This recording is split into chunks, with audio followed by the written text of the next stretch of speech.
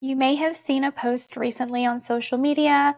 A few creators and veterinarians are posting about a new lawsuit that is being filed against Hills Pet Nutrition. And this is both exciting for a lot of us in the holistic pet space, especially those of us who are proponents for feeding fresh foods to our uh, dogs and cats. It is potentially also a really wonderful turn of events in the pet food space in general. Because as you have heard in previous episodes, whether it's on the Pet Parenting Reset or on my other podcast, Pet Health Junkies, um, there was a recent episode that specifically I want to talk about where Pam Janet and I talked to Billy Hofacker of Green Juju, and he kind of threw in a little bit of like insider information into what he sees in AAFCO meetings. If you're not familiar with AAFCO, it's the American Association of Feed Control Officials. And they provide guidelines for pet feed and pet food, as well as livestock feed that then the states take on as regulation. They opt to take on, the majority of the states do opt to take on their guidance as regulation. And it is a particularly, um, I want to use the word insidious, uh, organization that is set up to where a lot of the waste in human food manufacturing is utilized in pet feed and pet food. That's not always the case. We do have a lot of smaller companies that do really wonderful work with incredible ingredients, even human grade ingredients, and sourcing is really important to them. So th- this isn't a one size fits all narrative that I'm giving you. But my hope is that this is just one more thing to help turn the tide to where more and more people start thinking more critically about what they're putting in their pets' bodies. So, what is this lawsuit that uh, has been filed against Hills Pet Nutrition?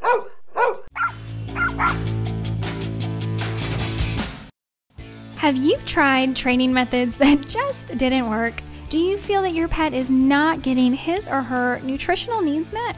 Are illnesses and bad behavior your daily norm?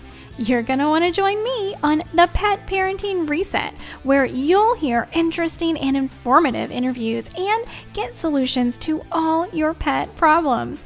I'm your host, Jessica L. Fisher.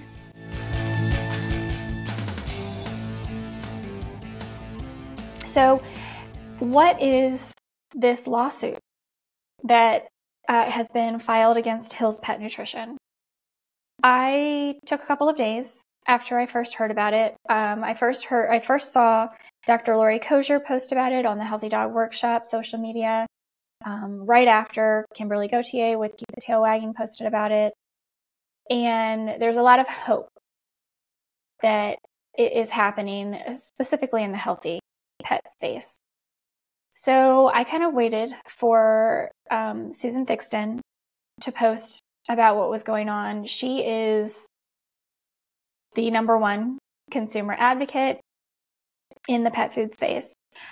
And so I hold a lot of credence to what she says and her uh, beliefs and how she how she understands what's happening in the pet food industry. She knows better than anyone else that I know uh, about what's happening in the pet food industry and how some of these things may play out.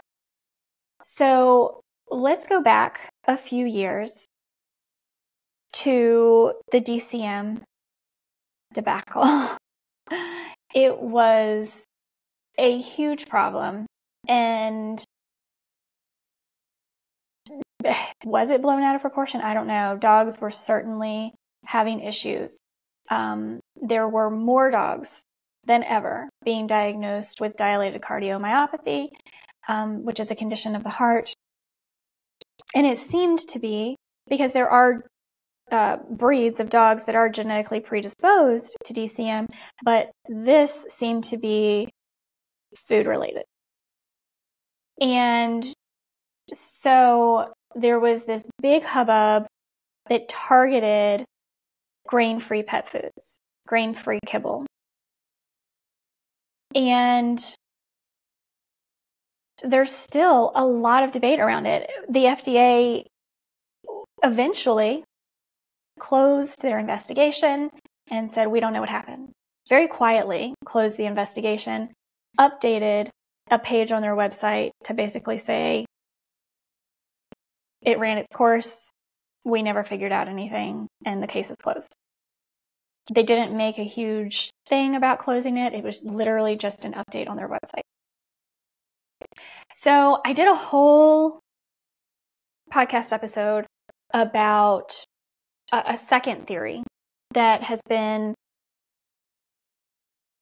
um, made aware by Dr. Karen Becker, Steve Brown, who's an incredible formulator, um, and they and those two, along with Susan Thixton, are working to uh, study the effect of these bagged kibble foods or even canned foods from um, these big pet food manufacturers and feeding less than the recommended amount daily to your pet.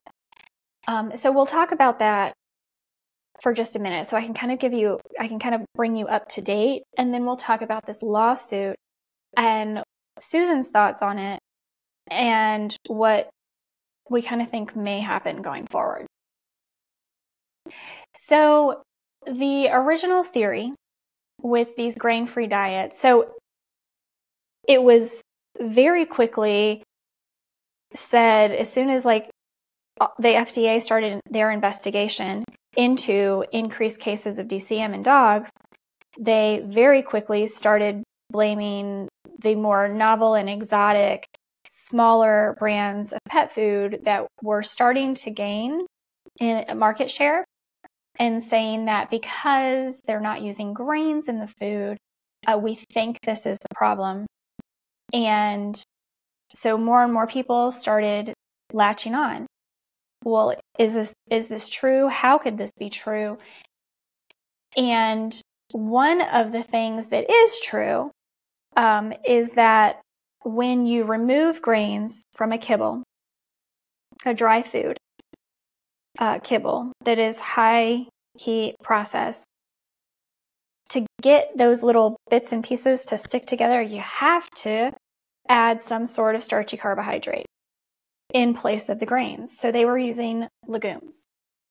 And with the high volume of legumes being used in these foods, um, it was theorized that they were creating anti nutrient properties in the foods because legumes can do that. Um, and again, the the previous episode that I did goes way into more detail. I will link that in the show notes just so you have easy access to it and don't have to go searching for it. And basically, what these anti nutrient properties of legumes do, if fed in quantities great enough to actually cause a problem, that's an if, if, it, if, that, if that was happening, it was basically blocking the absorption of the nutrients from the rest of the food. So, uh, thereby causing these nutrient deficiencies that were then causing additional uh, DCM cases. You know, the, the cases of DCM in dogs were on the rise. After the FDA closed their investigation and said, we don't actually know what happened, um, nobody really updated the guidance or the guidelines. So, still, and to this day, if you walk into a veterinarian's office, a traditional medicine veterinarian in the United States, they are likely going to tell you to steer clear of grain free kibble. That was what everyone was told, and no guidance was updated. So, after all of that happened, the FDA closed their case. Dr. Karen Becker, Steve Brown, Susan, Susan Thixton started looking into when people feed less than the recommended daily amounts on their pet food bag, what happens? Because, and we've talked about this so many times on this podcast, and I'm going to continue to talk about it because I just have such a passion in using food as medicine in in food have getting our nutrients, getting nutrition from food. But when we have these foods, whether it's a can or a bag, and it goes through high heat processing and multiple um, rounds of high heat processing, which kibble does, and a lot of uh, canned foods do as well. There's little to no nutrition left in those foods that the, that company started out with. So they add back in synthetic nutrients. We often call them premixes, vitamin and mineral packs, something of that sort. And so if you have a recommended daily allowance or da- a re- recommended daily feeding on that package based on AAFCO minimum requirements of uh, you know the, the all the different nutrient levels. And it's synthetic, mind you. Or at least the bulk of it is synthetic. I'll I'll try to try to be a little less biased. Um, let's just say the bulk of the nutrition is synthetic. I'd like to say all of it is, but let's say the bulk of it is. And you're feeding less which happens often, right? You go into your veterinarian's office, your dog is eating kibble, so it's getting a ton of carbohydrates and they're gaining weight. So your vet says feed less food. Happens all the time. All the time. Is your dog or cat then getting all of the nutrients they need every day? What about throughout a week, the course of a week? Hmm. It doesn't seem likely. And these are the tests, these are these are studies that are being done right now. Um, so that is something else for us to think about. But that catches us up to today and the lawsuit that was just filed on February 6, 2024 against Hills Pet Food. So, what I'd like to do is just do a quick run through of Susan's blog, Susan Thixton, on Truth About Pet Food. It is titled Lawsuit Claims Hills Pet Food and Veterinarians Fabricated Grain Free Diet Scare. And they have a slew of evidence to back up their claims. And that was one of the first things that I thought of when I saw that this lawsuit had been filed because the reality is, in the world we live in, who's right and who's wrong often doesn't matter in the legal system. Um, when a lawyer takes on a case and decides to file suit, it isn't always because they know their client is right. That's like the foundation of talking to the client in the first place is or taking on the client in the first place is you believe that they're correct in, in what they're telling you. But to actually file the lawsuit, it's because you know you, you think you can win the case. You're not going to file a lawsuit if you don't think you can win. And if you think you can win the case, it's because you have a lot of freaking evidence, right? Um, so that was my first thought when I first saw Dr. Coger post about it and then Kimberly Gauthier post about it. Is wow, this lawyer must have a lot of evidence to not only take on a lawsuit, because that's just kind of like a baseline for a lawyer.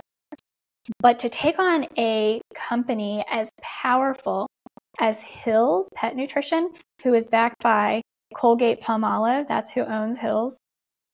And then we can keep getting in the weeds for who owns Colgate because that's just, you know, this big conglomerate. There's so much money behind this. So much money behind big pet food. We could go on and on and on, and we just get in this like twisted web of companies that own each other and you know in in different portfolios of stock and it, it that's not what today's episode is about so there is so much money behind Hill's Pet Food. That's the bottom line.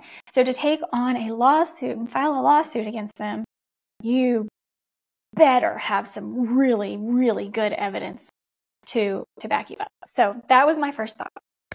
Um, Susan Thixton's blog says, the legal complaint filed in Kansas on February 6, 2024 is 124 pages of scathing evidence against Hill's Pet Food, the Morris Animal Foundation, the Mark Morris Institute, Dr. Lisa Freeman, Dr. Joshua Stern, Dr. Darcy Adin, Adin, I'm not sure if I'm saying that right, A-D-I-N, and others claiming all were involved in, quote, an egregious, wide ranging, and damaging campaign of coordinated, for profit faux scientific misinformation by a large corporation.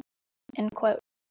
To make veterinarians and pet owners, falsely per their lawsuit, believe grain free pet foods were dangerous, linked to canine heart disease.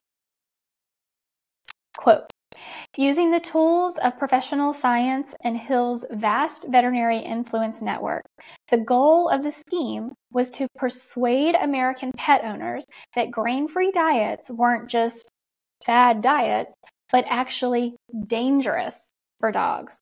An argument that, if successful, had the potential to eradicate the entire grain free sector of the pet food market. They had been carrying out this wide ranging scheme ever since, and it has been, by any measure, a breathtaking, if unlawful, success. The lawsuit complaint introduces the case with this information. Quote, Hills is unique among these three so-called traditional pet food companies for three different reasons. First, it is the smallest of the three. Its annual revenues dwarf those of most other pet food brands, but they are only about 20% of Purina's revenues. Second, as by far the largest maker of prescription only diets in the country and as the self proclaimed number one vet recommended brand, Hills is tied much more closely to the veterinary community than either Mars or Purina. For Mars and Purina, marketing to vets and distributing through vet clinics are both relatively inconsequential parts of their sprawling companies. For Hills, they are a major component of the business. The third thing that makes Hills unique among the three traditional pet food companies is its uniquely poor financial performance in the years leading up to 2018, when the misconduct at the heart of this suit began. During this period, the market for pet foods made by non traditional, often independent brands was growing explosively. For example, from 2011 to 2017, sales of grain free dog foods, a leading category among independent makers, rose from 15% to 44% of all dog food sales in American pet specialty stores. Purina was so large and diversified that it weathered this storm successfully, growing steadily and persevering its market share from 2014 to 2017. But Hills did not. Over the same four year period, Hill's annual revenues were pancake flat and its market share plunged by more than 20%. Long the third largest seller of complete diet dog food in the country, Hills fell to 20 uh, fell to fourth in 2018 after being overtaken by Blue Buffalo, the largest of the new wave of non-traditional pet food brands. Thus, beginning no later than 2018, Hills and a cluster of associated entities and individuals, collectively with Hills, the defendants, embarked on a drastic and unlawful course to reverse this slide. They carried out a scheme to falsely convince American dog owners that a massive, unrelated, and hugely diverse group of dog food products, essentially any product made by any of the hundreds of independent firms that were collectively eroding Hill's market share, all increase the risk and severity of a, deadly, a deadly canine heart disease di- called dilated cardiomyopathy, or DCM. To carry out this scheme, Hills, along with a group of closely bound academic veterinarians, the veterinarian defendants, and front organizations operating on Hill's behalf, acted in a coordinated conspiracy. First and most explosively, the veterinarian defendants fraudulently induced the United States Food and Drug Administration to launch a high profile investigation into DCM. The second strand of defendants' scheme Hill's co conspirators, the veterinarian defendants, authored study after study about DCM and then mischaracterized the findings. The defendants also created and fostered social media environments, including at least one Facebook group that was an echo chamber, suppressing any contradiction of the propaganda campaign. End quote. Susan goes on to say, and then this lawsuit proceeds to provide detail after detail to how the defendants allegedly fabricated the entire grain free pet food linked to canine heart disease scheme, such as Part 1 The cherry picking scheme. Defendants fraudulently induced the FDA to launch a high profile investigation into grain free diets and canine dilated cardiomyopathy. Quoting Significantly, 23 of the 28 canine cases in this report, or more than 80%, came from either Dr. Freeman or Dr. Adin. Just five came from sources other than these defendants. In a nation with 70 million dog owners. Continue quote. Dr. Freeman and Adin deliberately and intentionally chose an unrepresentative group of cases to show the FDA. They did this by cherry picking DCM cases involving grain free diets and submitting those to the FDA while simultaneously withholding cases involving grain containing diets. End quote. The lawsuit included this image of an email from Dr. Freeman to FDA regarding her protocol to submit DCM cases to FDA. Note the second bullet point under item two. So, recommended DCM protocol 62718. Number one, Collect a complete diet history from on all patients at every visit. Exact diet, treats, table food, rawhides, chews, supplements, and foods used for medication administration. See below and attached for diet history forms. Number two, if patient is eating any diet besides those made by well-known, reputable companies, or if eating a boutique, exotic ingredient, or grain-free diet. Bullet point one. Have owners save all current foods they are feeding, including bags, cans, or other packaging. Bullet point. Point two. Report case to FDA. The FDA website includes other useful tips for suspected important information for pet food companies. The lawsuit continues, quote, in other words, under the protocol that Dr. Freeman established, an FDA report should only be submitted if a DCM positive dog was not eating one of the core products made by either Hills or one of the other two largest and best established manufacturers in the country. Freeman's own protocol establishes that she cherry picked her samples in a way that would create the impression of a connection between smaller brands, products, and DCM, whether grain free or not. End quote. The above is only a small part of a very detailed lawsuit. It includes a wealth of information evidencing the many involved and why they were involved in the Hills and the claimed scheme. It includes damning information about the influence of Hills with veterinary schools, information on Dr. Freeman's similar attack on raw pet food, and so much more. There's also a link to read the full complaint. So I will include the uh, uh, Susan Thixton's blog post link in the show notes for you so you can get to that as well. Uh, Susan continues The lawsuit is a class action, but the only plaintiff mentioned is Keto Natural Pet Foods Inc.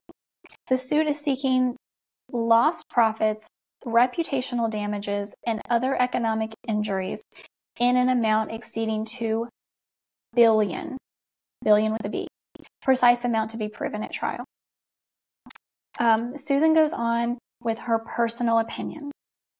This lawsuit took courage to file, Filing any lawsuit against big pet feed giants is not a simple matter.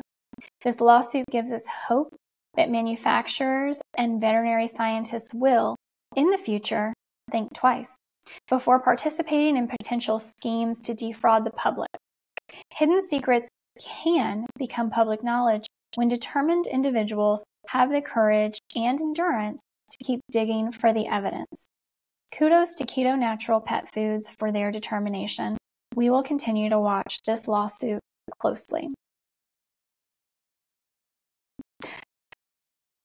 So that is the lawsuit that has been filed against Hills Pet Nutrition as well as uh, select veterinarians who were, it's seemingly, obviously, uh, very closely involved in creating this scheme against grain free pet foods.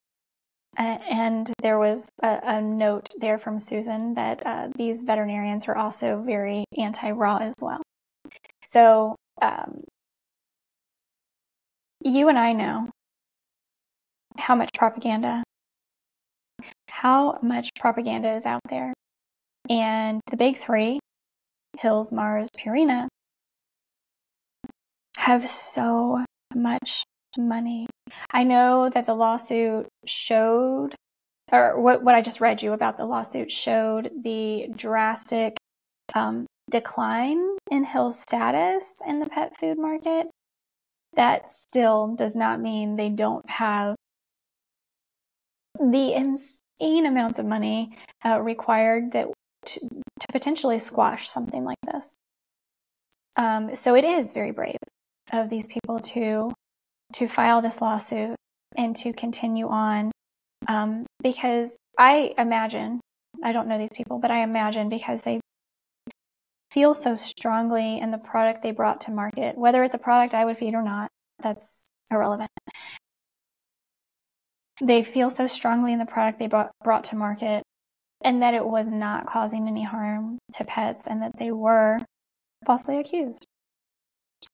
So, in my mind, I again, I, I just hope, my biggest hope for all of this, and I, we talked about on the live podcast with Isabel the uh, everything that's going on with Purina right now, and there's just so much. And every single time something happens, I never, ever, ever want anything bad to happen to a dog or a cat. I don't want anyone's animal to become sick. I don't want anyone's animal to die. Um, it happens. Like we all, we all have a short time on this planet, but to die earlier than than we should have, would have, had we have been provided um, adequate nutrition, healthy food, clean air, clean water, all the things, right? So My biggest takeaway is that when anything like this happens, my hope is that more and more people realize the value of feeding fresh food to their pets. And more and more people start digging in and doing more research and learning about all of the incredible benefits of, if not completely transitioning, at least adding fresh foods in to their pets' diets. So I'm hopeful, along with everyone else, that this lawsuit will open, if, if nothing else, open more people's eyes. I know there are companies out there who are going to want to join this class action um, because their brand suffered, maybe even died because of what happened and what um, is alleged to have happened to have happened um, from Hill's Pet Nutrition as well as their uh, veterinary conspirators.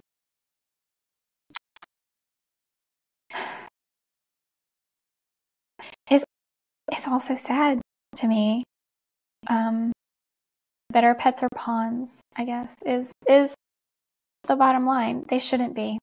Uh, they, they should not be. They're our family. And we should feed them like family. And um, so I hope you join me whatever platform you have, even if you don't have a business, you don't have a social media, if it's just your friends and family, talk to them about making changes in their everyday life to treat their pets more like the family that they are. Removing toxic chemicals from the home, removing plastics, um, hydrating food, feeding fresh foods, minimal vaccinations, all of the things, um, because nature provides. And we can be a bright light when people see all of this darkness happening. So that's what's going on with this lawsuit with Hills uh, Pet Nutrition and Hills Pet Food and their veterinary uh, accused co conspirators, I should say.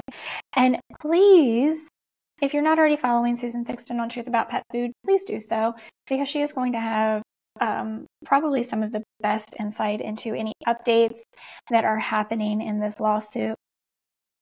And yeah, so that's what's going on. It's been a little while since it was just me talking to you, and um, I was wondering when I was going to be able to do it again, and I felt like this was the perfect opportunity to do that. So I hope you enjoyed today's episode. I hope it was educational. It helped you understand what's going on, some of the backstory behind all of it. And um, bottom line is, I am not against grain free foods. Um, I do think there is potential for legumes fed in large quantities to cause anti nutrient properties. I also think um, that there is potential to be found in these studies with feeding less than the bag says to feed because it is all synthetic, basically all synthetic nutrients um, being provided in those uh, uh, bags of feed. So there is obviously more to the story, and we are finally seeing that we weren't wrong in the fact that there was more to the story. So, um, thank you so much for joining in, tuning in today. I have more episodes recorded with incredible guests coming up. So if you're not already following the podcast, please make sure you do so. If you just found me because of this, um, also make sure to follow me on all the socials. Instagram is where I mainly live. It's at the Pet Parenting Reset. And um, I will talk to you with an, another incredible guest next week. Until then, please give your pets some extra love from me. Bye, guys. Thank you so much for listening to today's episode. Make sure that you're following the show so you never miss an episode. And please take a moment to rate the show on your podcast app. I'd also love it if you'd share this podcast with your friends and family so that they can benefit from the information to help their pets live long, happy lives too. Don't forget to take advantage of this special discount as a listener today and get access to over 100 online videos and my online dog training the Furry Family Coach. Just go to thefurryfamilycoach.com and use code PODCAST at checkout to get your first month for only $7. That's thefurryfamilycoach.com and use code PODCAST at checkout to get your first month for only $7. I can't wait to have you join and see you on the inside. Oh, oh.